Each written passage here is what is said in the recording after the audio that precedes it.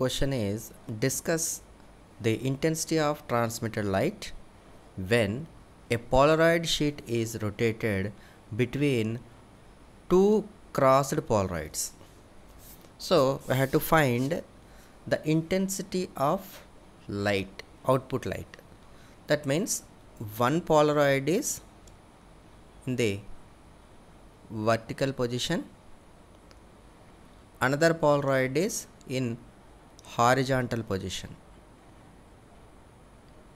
Suppose an ordinary light enters into this first Polaroid. This is P1. Of course, this is P3. The light beam enters through this first Polaroid and follows this path and then the light will be blocked here because of third Polaroid is in the horizontal manner. That means the angle between P1 and P3 is 90 degrees.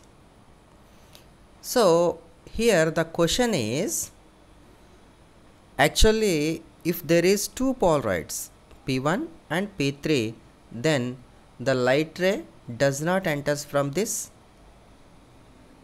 Polaroid. So we have to enter one more Polaroid in between these two Polaroids that is P2 here we have to enter one more Polaroid.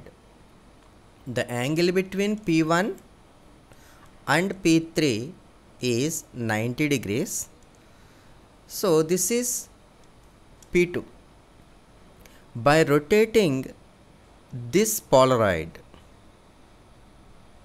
we can get the output beam here. That means without disturbing of the polaroids first and third we can get uh, the intensity of light by rotating this middle polaroid so that is the question. So how much angle we have to put to get uh, maximum intensity from p3 if there is no p2 that means there is no intensity at this position.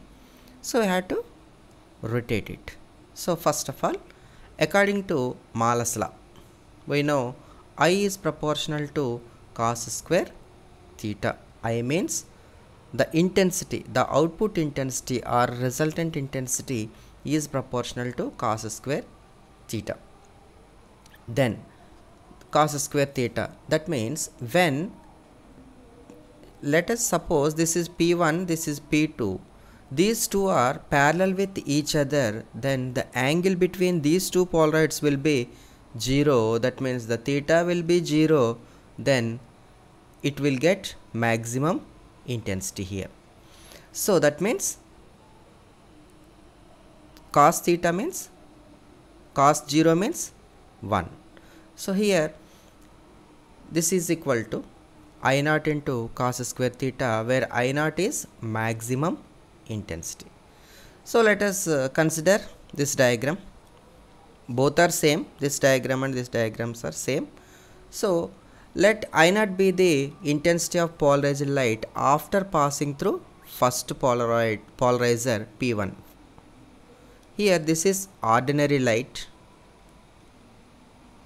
Ordinary light when this ordinary light enters into this polaroid it becomes like this. That means only one sided vibration that is vertical vibration. Okay? Light? So let uh, the output intensity of i1 is i1 is equal to i naught means maximum intensity cos square theta. The angle between the incident ray and emerged ray is uh, theta is equal to 0 here. So cos square 0 that gives I1 is equal to I naught. So the maximum intensity will be I1. Then the intensity of light after passing through the second polarizer P2 is then after passing through the polarizer second polarizer. So let us uh, draw a free body diagram. Suppose this is p1 vertical direction. This is p3 the direction is horizontal. So in between these two polaroids this will be like this which is making some angle. So let us assume this is p2 the angle between p1 and p2 that means the pass angle between p1 and p2 is uh, theta let us assume and uh, p2 and p3 will be pi. So according to this diagram theta plus theta plus pi is equal to 90 degrees according to this diagram. So theta is theta but pi is equal to 90 minus theta. So we have to express the angle in terms of theta only. So just I assumed this value as pi. Now the intensity after after the passing through polaroid or polarizer P2 is I2 is equal to I naught into cos square theta.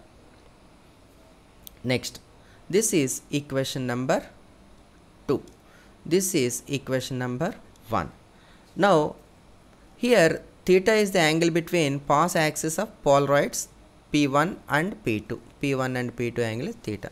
And p1 and p3 are crossed the angle between pass axis crossed means mutually perpendicular p2 and p3 will be 90 minus theta because of pi is equal to 90 minus theta now we have to find the intensity of light emerging from P3. From P3, the output beam, how much? That we have to find. So, let us take uh, according to Malus law. For third polaroid, I3 is equal to I2 into cos square 90 minus theta.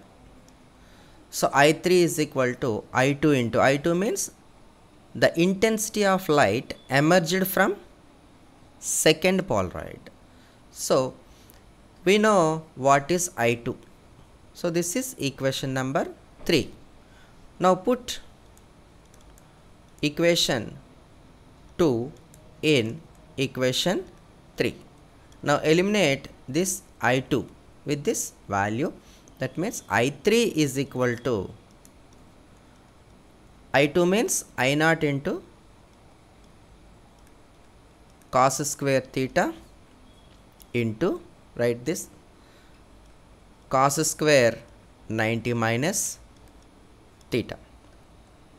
Then I3 is equal to I naught into I naught means maximum intensity cos square theta into cos 90 minus theta means sine theta. That means sine, sine square theta. So we can write i3 is equal to i naught into sine square theta into cos square theta so here we have to solve this in further so multiply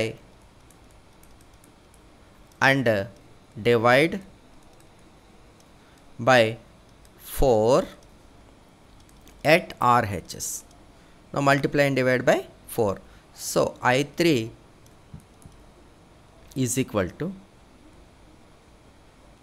I naught into 4 divided by 4 4 by 4 sine square theta into cos square theta.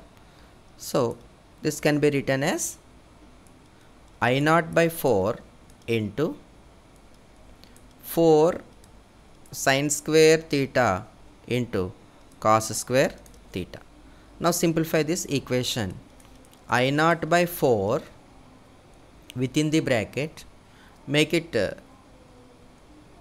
whole square of this total expression. So this 4 becomes 2 sine square becomes sine that means sine theta. This is cos theta. I3 is equal to. So i3 is equal to i naught by 4 into 2 sine theta cos theta means sine 2 theta. Sine 2 theta whole square. Since 2 sine theta cos theta is equal to sine 2 theta. So I3 is equal to I naught I naught by 4 into sine square 2 theta. So for minimum intensity that means i3 is equal to 0 when the i3 becomes 0 that means when theta is 0 theta is 0 then this total expression will be 0 that is i3 is equal to 0 for maximum intensity maximum intensity then according to this value